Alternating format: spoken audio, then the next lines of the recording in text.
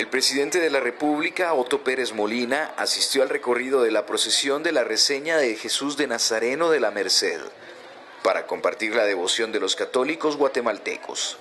Visitó a un grupo de estudiantes de la Escuela Nacional de Artes Plásticas, quienes elaboraron una alfombra con la representación de la referida imagen. Muy contento, mire, venimos a ver la, primero la, tradición, la procesión de Jesús Nazareno de la Merced, eh, pero además de eso tuvimos aquí una participación de los alumnos de la Escuela de Artes Plásticas.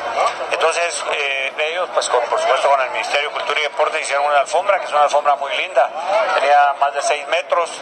Eh, está muy, muy bien preparada. Como os dijeron, estuvieron trabajando desde anoche a las 7 de la noche hasta hoy a las 7 de la mañana, con la devoción y el fervor eh, que, que pues siempre trae estas fiestas.